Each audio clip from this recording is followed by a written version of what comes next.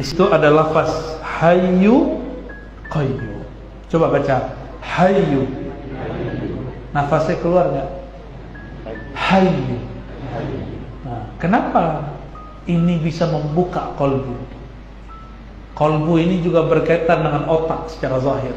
Jika kita buang ha, maka di situ ada rahasia Allah Al-Fattah. Allah buka itu isi otaknya.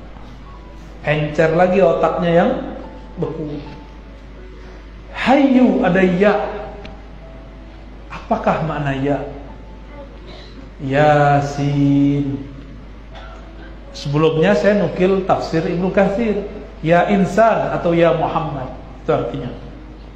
Insan di situ Nabi Muhammad sallallahu alaihi wasallam. Ada tafsir ma'rifatullah.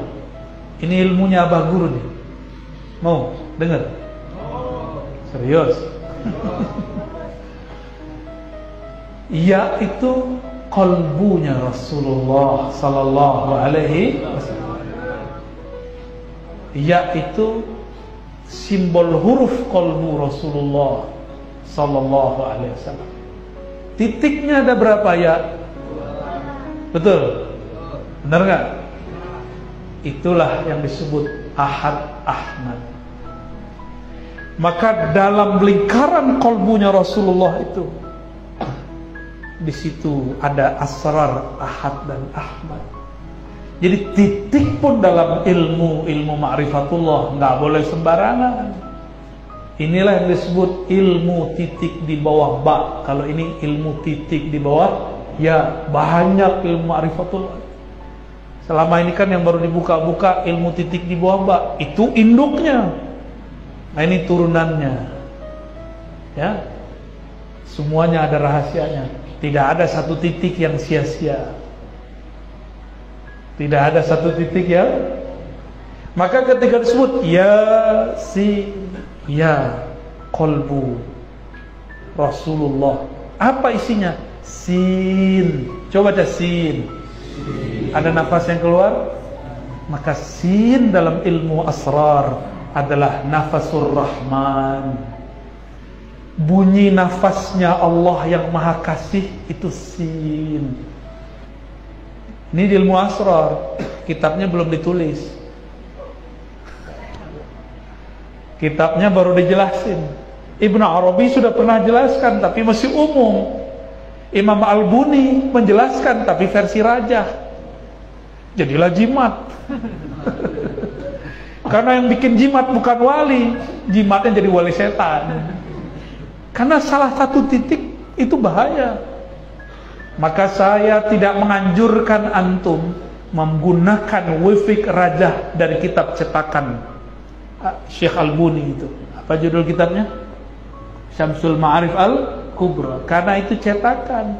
Itu raja harus ditulis tangan nggak boleh pakai cetakan. Di situ banyak kesalahannya fotokopi lagi beb ya. Yang sahih itu yang masih manuskrip manuskrip tua masih tulisan nama walaupun saya dapat sanad Syamsul Ma'arif Kubra tapi saya nggak menganjurkan. Ya? Itu ilmu beliau ilmu huruf.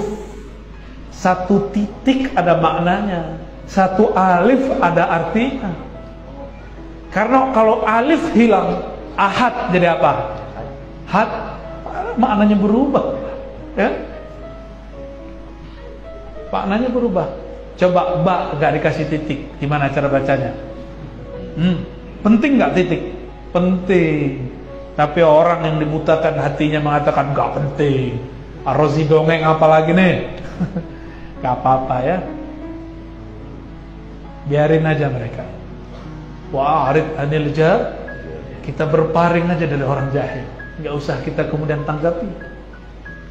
Allahumma sholli ala